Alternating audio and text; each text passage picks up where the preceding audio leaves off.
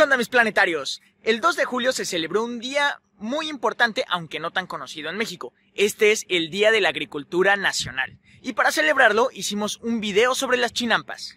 Las chinampas, del náhuatl chinampan, que significa en la cerca de cañas, son una herencia milenaria de nuestros antepasados mesoamericanos. Estas se pueden describir como huertos en islas construidas en los antiguos lagos de Tenochtitlán. Y hoy en día solo quedan algunas en las zonas de Xochimilco y Tláhuac. Si quieres saber más al respecto, te compartimos el siguiente reportaje.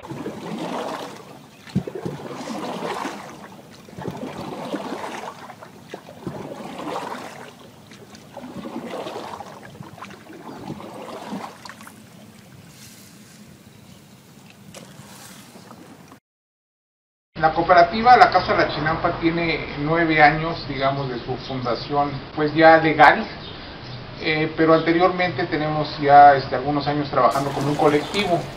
Eh, más o menos tenemos 15 años trabajando el grupo de amigos y vecinos que, formamos la cooperativa y la, la empezamos a, a formar por la necesidad que había de concientizar y sensibilizar a nuestros niños sobre todo la importancia de la riqueza biológica y cultural que tenemos aquí en San Gregorio.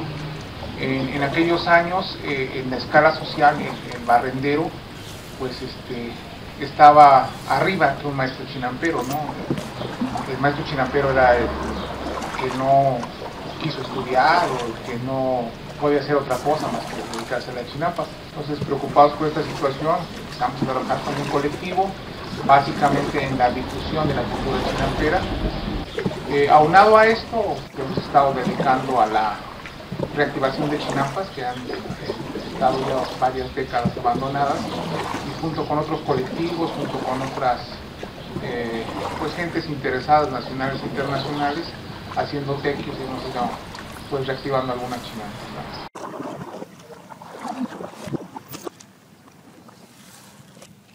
Estos ahuejotes son parte esencial de la arquitectura de una chinampa, ¿no? Eh, sus raíces, como ustedes pueden ver allí, crean una red que contiene la, chinampa, ¿no? que evita que se desmorone.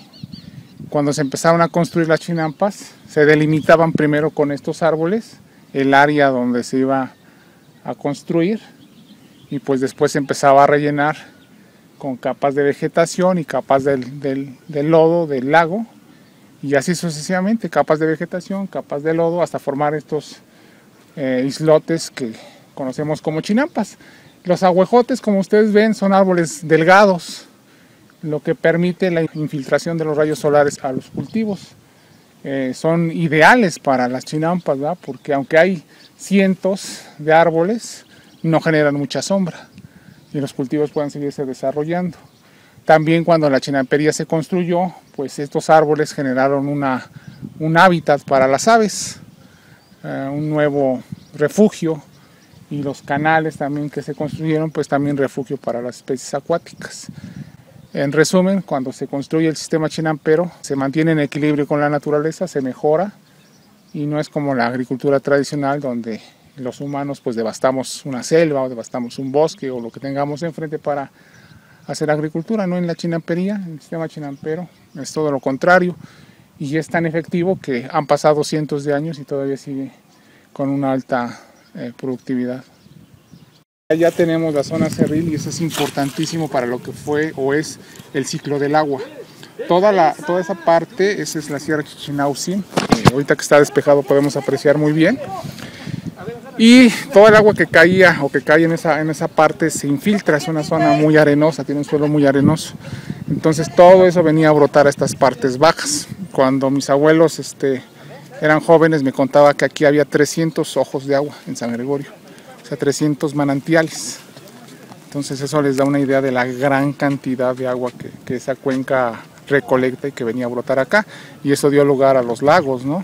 Que, que tenía pues aquí la, la cuenca de México. Aquí tenemos esto que nosotros conocemos como chilacasque o lentejilla.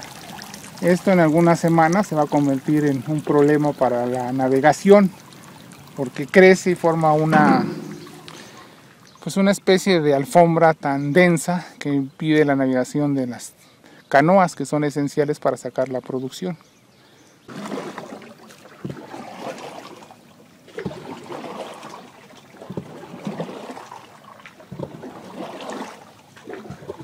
Es la agricultura en la zona chinampera? Bueno, esta agricultura que manejamos nosotros aquí en la zona chinampera es una, es una, ah, una agricultura no, no muy tecnificada, pero sí es una, es una agricultura exageradamente intensiva. Por tal motivo es muy, este, muy eficiente. ¿no?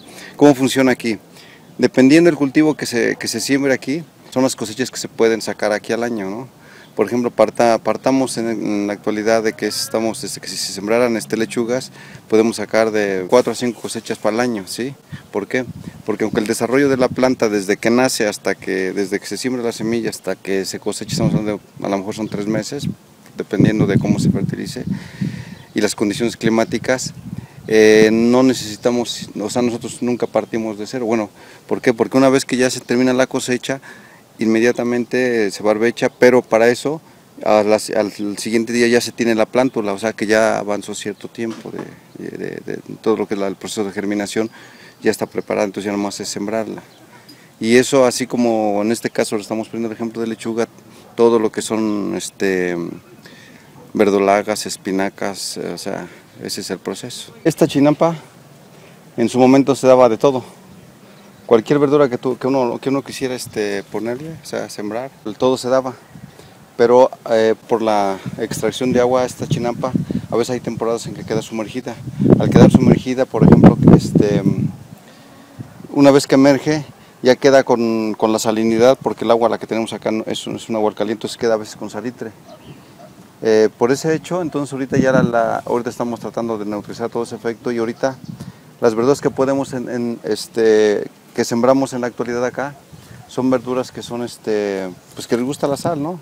En este caso son apio, este es, apio, berza, acelga, eh, coliflor, son plantas que pues sí se dan en un ambiente salino, en una, en una tierra con un pH salino. Entonces prácticamente eso es lo que, lo que nosotros nos, dedicamos acá. Hoy tenemos preparado un, un, este, un almálcigo, precisamente que, que, se está, se está este, semillando lo que es este, acelga y posteriormente va a ser trasplantado aquí en la, en la, zona, en la chinampa y pues ahora sí que hasta su desarrollo y su cosecha y otra vuelta. Antes de que se termine la cosecha, otra vuelta a preparar otro almárcigo. ¿Cómo empezó usted en las chinampas? Bueno, nosotros, eh, bueno, yo en lo personal y como los compañeros, nosotros somos hijos de padres campesinos, ¿sí? Entonces prácticamente, si ahorita somos algo es precisamente por el, por el campo.